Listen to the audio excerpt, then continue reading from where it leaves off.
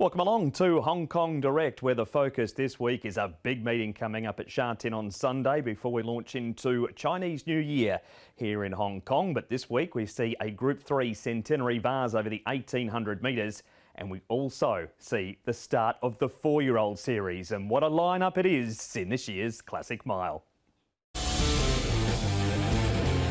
He's a seriously good racehorse, this guy. He's clear of beauty, joy and fantastic treasure. And packing victory won it. He's off the deck here, California Spangle. Had one put on his chin at the 300. He gets the last laugh and he wins. Romantic Warrior to stay unbeaten from four. He's classy, all right, Romantic Warrior. Sight Spirit, three in a row, and another win for Moreira. It's the race fit. I'm a single man. Blaze Warriors peaking on his run. I'm a single man. Tough win in the last. Fafa Beluga. Sabrowski hit them late. Fafa wins again. If you threw your ticket out turning for home, head to the bin, find it, you'll get paid. Master Delight has beaten Maldives. Master Delight, one of three horses in the race for John Size. There's quite a number of trainers with double ups, but John has a triple up. California Spangle and I'm a single man for an informed Tony Cruz, fresh off a big night at Happy Valley on Wednesday night. Blaze Warrior packing victory. He steps to the 1600 metres for the first time. Far Far, he's won over the 1800 metres. He comes to Sha for just the third time in his career. Romantic Warrior unbeaten, four starts for four wins. Lucky with you, beaten by Romantic Warrior last time. Rocket Spade, an orthodox prep for him. He went around at Happy Valley around 10 nights ago. Sight Spirit shooting for four in a row. He is unbeaten since stepping up to the 1600 metres in this year's Hong Kong Classic Mile. We move from the starter list to our special guest on Hong Kong Direct this week. It is an informed jockey by the name of Karis Teetan, who's been good enough to grant us some time this afternoon. Karis, thanks for joining us on Hong Kong Direct. You must be looking forward to a great day of racing coming up on Sunday. Yeah, thank you very much. Uh, yeah, I'm sure uh, all of us are looking forward for for the weekend. There's a lot of excited horses uh, going forward. We're going to start with the Classic Mile. Is this the strongest Classic Mile field you've seen as far as the chances of numbers go? Yeah, I would I would think so. Uh, especially in the last couple of years, I think this is the strong bunch of horses I've seen uh, going forward. Especially you know in the race, there's a lot of chances. So yeah, it's going to be an interesting race. You've picked up the ride on Romantic Warrior. He's a horse that you'll no doubt remember well. He unfortunately on that day beat you unlucky with you last start. Yeah, uh, of course he looks like a very nice horse. Uh, there's a lot of, of course, high talk about him.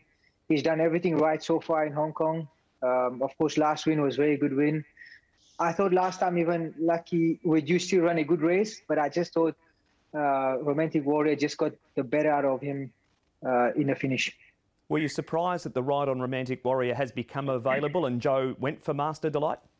Yeah, of course. You know, with Joe, anything is possible. Um, you know, he's got he's got some options, and uh, sometimes he, he he don't know which one he'll take. But end of the day, he can only ride one horse in a race. So, if you're patient enough, uh, some good rides does come available later on. So I knew that you know, of course, he had the two choice from Mr. Size I think it was Side Singer and uh, Master Delight. So I thought, well, if he rides for Mr. Size, then for sure Romantic Warrior will be uh, available. And on that same day, Romantic Warrior won. I won on Romantic Combo for same owner. So I thought if Joe stick with Mr. Size horses, then I might get the opportunity. And then he gave me the opportunity, and I'm just very thankful. He's a, a, great horse to be getting on for this series because he steps to the 1600 for the first time, which looks perfect. There's good speed in the race, and you're drawn in barrier number one, so you must go in with a lot of confidence. Yeah, of course, the draw is going to be a big helpful uh, to the horse. Uh, of course, there's uh, a few horses that have some speed in the race that will that will help us a bit. And uh, like you mentioned now, from the draw, you don't have to do much. You just have to leave him alone and let him find comfortable and uh, I'm sure he's going to do his best in the finish. You're on the right in the feature, the Centenary Vases Ka Ying Star. It's been a while since you've had a sit on him. Two years between rides on the old boy. Yeah, of course. Uh, I, I used to ride him before, but then got lost on the ride. I did not have a chance to ride him again. But um, you know, of course, Tony gave me the opportunity again, so I'm really excited to to get him back on him. Uh, he's been jumping a bit slow lately, so my, my goal we try to get him out of the gate as fast as I can and make sure he can get into his normal rhythm that where he's always comfortable and you know if he get left alone in front he can be a very dangerous horse in a race and just finally, Karis, back to last week. Congratulations, 500 winners in Hong Kong, a number that you said just snuck up on you. Yeah, I was not sure actually what happened because everybody was so happy for Paul, and then they were like, "Oh, you also." So I was not quite sure until I really got into the parade ring when Larry said, "Oh no, you also won 500 winners." So it was it's it's something good, and of course, it's been a good few years in Hong Kong. I just appreciate everybody opportunity, and I just hope it carries on throughout the years coming. And uh, finally, Karis, have you got your sights set on 600, or you just go and ride the horses and let the numbers take care of themselves, as it has done up to the 500? I'm looking at a thousand already. so yeah, um, no, I, of course, you know, I just I, I just like to ride as many winners as I can. Every season is uh, is different, especially we all know in Hong Kong things can get very hard every season. So I just try to ride as many winners as I can, and I don't normally put the number in front of me. I just put my head down and just focus to ride winners. A great way to end. Karis, thank you for your time here on Hong Kong Direct, and all the best for a big day coming up this Sunday. Thank you very much. Take care. So that's the thoughts of Karis Teetan around Ka Ying Star and, of course, Romantic Warrior. But what about the other horses in this year's Classic Mile? Well, Nick Child was out at track work to gauge a few thoughts of some of the other riders.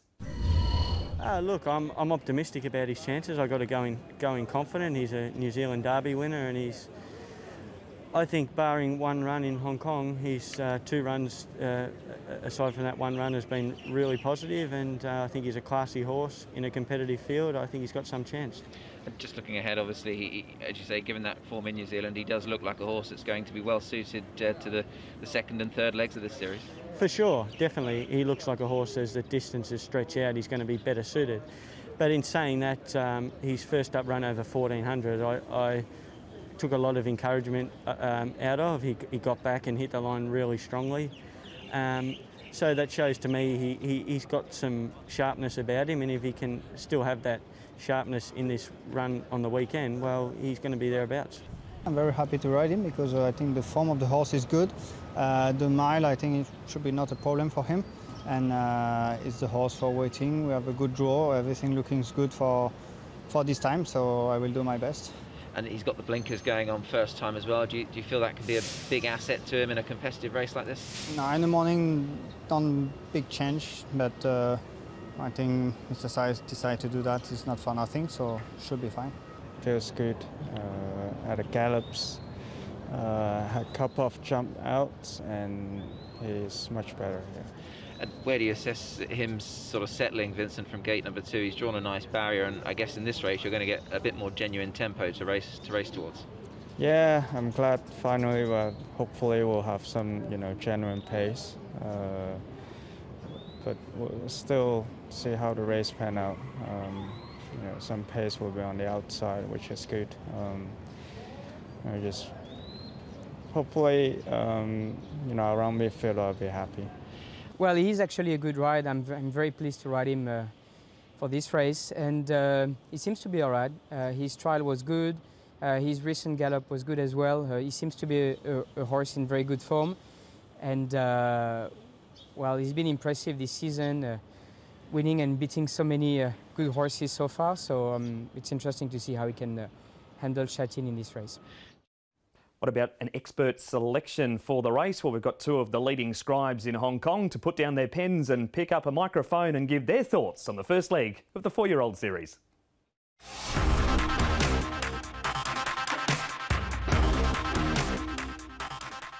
I'm going for Sight Spirit for John Size, Wagner Borges, Barrier 7, um, in fantastic form. One of the toughest races of the season, but I'm sticking with John Size and Wagner Borges. Uh, it's a tough race to narrow down to just one pick this classic mile, but I'm going to side with Romantic Warrior. Hasn't put a, a, a foot wrong thus far. Looks like he can settle uh, into a nice spot off what should be a, a good speed from barrier one, and I think he can get the job done. Romantic Warrior for Sam and Sight Spirit Filio, the two expert selections for Sunday. Speaking of Sunday, here is the diary of what is coming up. The first race at 1 o'clock, so trackside live from 12.30. Centenary Vase 4.05. The Classic Mile goes at 5.10. No Wednesday racing being Chinese New Year, so it's Sha Tin Thursday.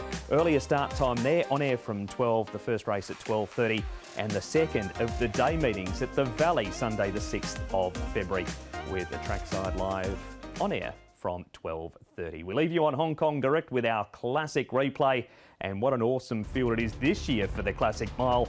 What a great field it was in 2017 when Rapid Dragon was victorious. Have a listen to some of those names behind him. That has been Hong Kong Direct. Bye-bye. Rapid Dragon looking for room. Pakistan Star Beauty Generation of the outside with Western Express. Circuit Hasler from Winner's Way. Beauty Generation, Rapid Dragon darting through. Pakistan Star. Rapid Dragon took the lead at the 200 from Beauty Generation. Pakistan Star, Winner's Way, and then Seasons Bloom. But Rapid Dragon going well, getting further in front. He's the heavyweight of the four-year-old series, Rapid Dragon, and he's too good for them in the Classic Mile.